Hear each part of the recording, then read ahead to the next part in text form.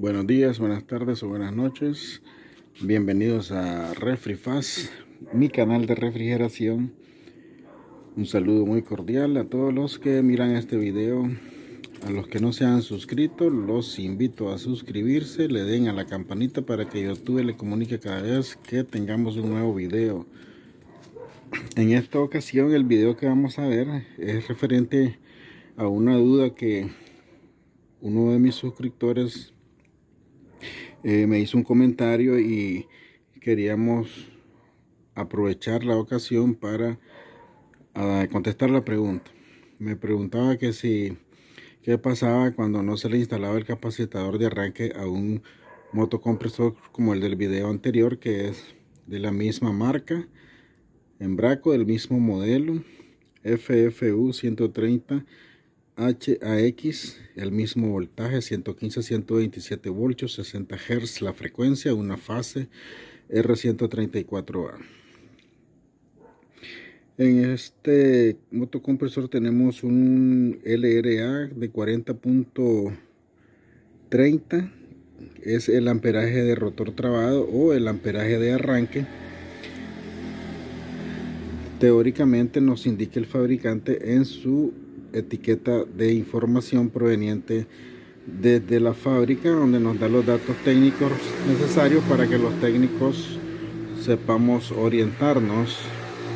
Así que vamos a responder la pregunta con un relay del mismo tipo que instalamos en el último video en un motocompresor de la misma marca del mismo modelo de un tercio HP aquí vemos el relay con su protector térmico que es una sola pieza.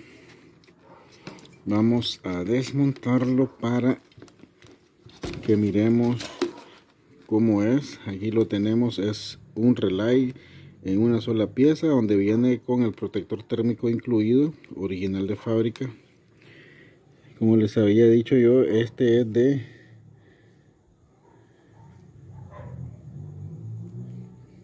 es de un tercio HP, creo que ahí lo podemos apreciar perfectamente bien, en 115 voltios.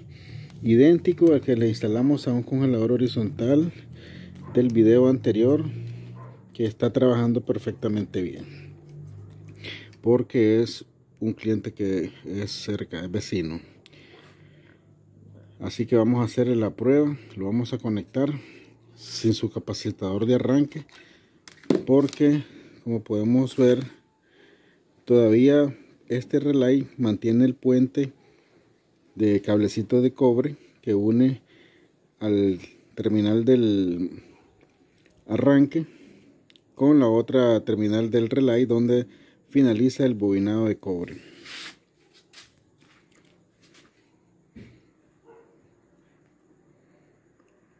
Así que vamos a verlo esta es la línea de corriente. Aquí comienza la bobina en la entrada de la fase o, neutro. Da algunas vueltecitas por acá. Continúa hacia el marcha. Perdón voy a rectificar. Aquí tenemos donde finaliza la bobina en la entrada de corriente y finaliza en la patita del marcha. En lo que vamos a trabajar nosotros es en la parte del arranque donde está la terminal que se une con la patita del arranque. Esta terminal a través de unos contactos internos del relay electromecánico contactos que son de plata hace un puente entre el marcha y el estar. Es decir el marcha que es este y el estar que es este. Los contactos se separan al momento de arrancar el motocompresor y el capacitador de arranque como les dije en el video anterior va en sustitución de este cablecito de cobre que miramos acá. Así que lo vamos a cortar y lo vamos a conectar nuestro capacitador de arranque. Pero antes de eso vamos a probar a ver qué le, qué le pasa cuando lo conectemos sin instalar el capacitador de arranque que de eso se trata este video. Entonces vamos a ver nuestro amperímetro o pinza amperométrica. Ya lo tenemos en amperaje de corriente alterna ya lo seleccionamos así que vamos ahora a ver nuestro display a ver qué pasa con el amperaje que obviamente no va a desplazar el arranque, simplemente va a quedar en amperaje de rotor trabado o LRA.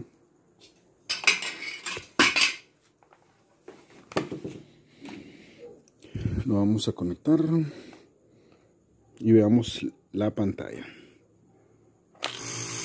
Ok, ahí lo vemos que arrancó pero no desplazó y se va a disparar la protección. Igual, se dispara la protección porque no desplaza el relay o el motor. Como les había dicho, necesita del capacitador de arranque. Ahí vemos actuando la protección del térmico para que no se nos queme nuestro motocompresor.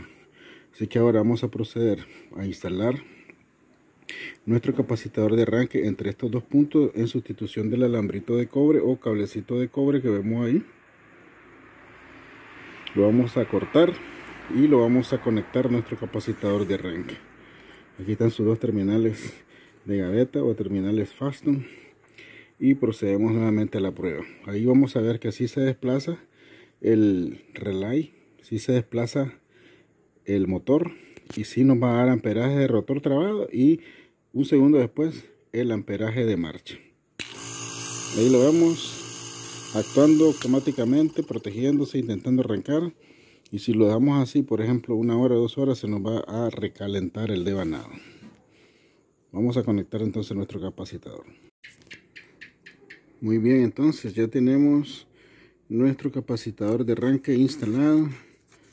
Aquí lo vemos conectado sus dos cablecitos en sustitución del puente de cobre que había entre los dos terminales entre el star y el contacto interno del marcha que lo hace por medio de dos puntos de plata como les repito dentro del relay.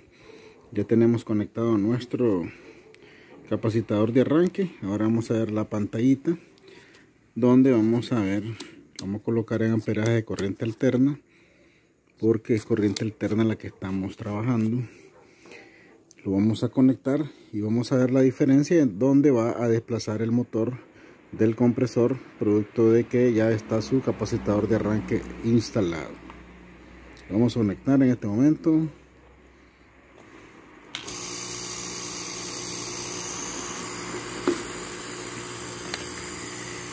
Bueno olvidé vamos a conectarlo olvidé colocar el, el amperímetro o la pinza amperométrica en una de las dos líneas en este caso la que va a la parte del relay la parte superior color blanco. Ok veremos la pantalla nuevamente. Ahí lo vemos que su amperaje de arranque y de marcha lo vamos a, volver a conectar y lo vamos a lo vamos a volver a desconectar lo vamos a volver a conectar. Vemos que se da rápidamente el amperaje de arranque o LRA y seguidamente el amperaje de trabajo o amperaje de marcha que nos queda en 4.3 lo vamos a volver a conectar ahí lo desconectamos ahora nuevamente lo vamos a volver a conectar. Como podemos ver se da el amperaje de rotor trabado y un segundo después el desplazamiento del relay producto del capacitador de arranque que está cumpliendo con su trabajo y yo creo que con eso queda respondida la pregunta del amigo suscriptor que qué es lo que pasa cuando no se le instala capacitador de arranque. Ya vimos los efectos y las consecuencias. Así que creo que es todo de mi parte. Muchas gracias por ver el video. No olviden